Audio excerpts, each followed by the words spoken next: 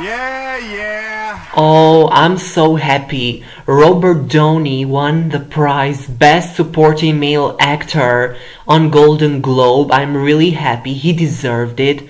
He's amazing. He has a sense of humor. He did um, the best on every role, on every movie. He is the best. I am so happy that he won. I took a beta blocker, so this is going to be a breeze. he prepared for this moment. He took a letter. He wrote everything he wanted to speech on this uh, winning moment. So I am so happy. He is the best.